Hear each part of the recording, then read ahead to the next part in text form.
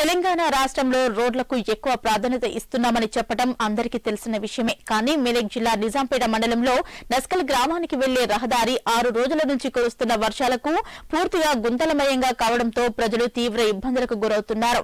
నిజాంపేట మండల కేంద్రం నుంచి నస్కల్ రాంపూర్ తుర్జాల్పూర్ బీబీపేట దొమ్మకొండ గ్రామాలకు వెళ్ళాలంటే ఇదే ప్రధాన రహదారి కావడంతో ప్రజలు అవస్థలు పడుతున్నారు.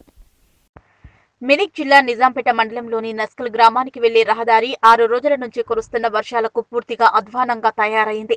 నిజాంపేట మండలం నుంచి నస్కల్ రాంపూర్ తుజాల్పూర్ బీబీపేట దోమకొండ గ్రామాలకు వెళ్ళాలంటే ఇదే ప్రధాన రహదారి. కామారెడ్డి జిల్లా సిద్దిపేట జిల్లా సరిహద్దులు రోడ్లు వేసినట్లయితే రెండు జిల్లాల ప్రజలకు ఎంతో సౌకర్యంగా ఉంటుందని వ్యాపార లావాదేవీలు కూడా బాగా జరుగుతాయని మండలాలు కూడా అభివృద్ధి చెందుతాయని పలువురు ఆరోపిస్తున్నారు. గతంలో రోడ్డు బాగు చేయాలంటూ కాంగ్రెస్ పార్టీ ఆధ్వర్యంలో రాంపూర్ గ్రామం నుంచి నిజాంపేట మండలం వరకు పాదయాత్ర కూడా నిర్వహించామన్నారు. పాదయాత్ర మరుసటి రోజు నస్కల్ రోడ్డు గుంతలను తూతూ మాత్రంగానే పూడ్చడం జరిగిందన్నారు. నస్కల్ రోడ్డుకు తొమ్మిది కోట్ల ఇరవై మూడు లక్షల రూపాయలతో రోడ్డు మంజూరు అయ్యిందని మెదక్ ఎమ్మెల్యే పద్మా దేవేందర్ రెడ్డి రాంపూర్ గ్రామంలో దళిత బంధు పథక లబ్ధిదారులకు ఎంపిక కార్యక్రమంలో ప్రస్తావించినప్పటికీ ఇప్పటి వరకు రోడ్డు పనులు ప్రారంభించలేదన్నారు.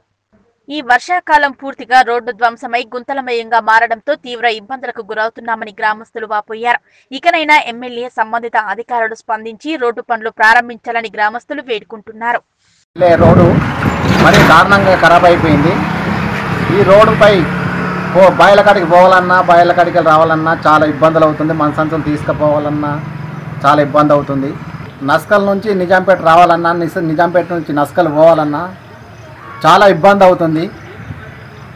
నా ప్రభుత్వంను నా ప్రభుత్వం అధికారులు స్పందించి రోడ్డును రిపేర్ చేయాలని కోరుతున్నాం. డిమాండ్ చేస్తున్నాం.